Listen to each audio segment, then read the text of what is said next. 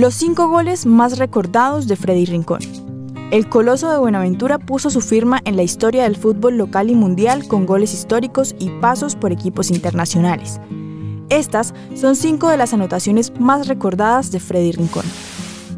El 19 de junio de 1990 anotó el gol más importante hasta entonces de la selección Colombia y el más recordado. En el último momento, en un partido difícil contra Alemania, Rincón anotó y logró que Colombia pasara por primera vez en la historia a octavos de final de un mundial después de una ausencia de 28 años. A pesar de que se empató el partido, fue considerado una victoria por el rival y por la clasificación. También marcó dos goles en el recordado 5-0 contra Argentina en Buenos Aires en 1993. A los 41 minutos, Rincón hizo el gol que abrió la cuenta de los tantos. Después, a los 72 minutos, de nuevo Rincón se reportó en el marcador.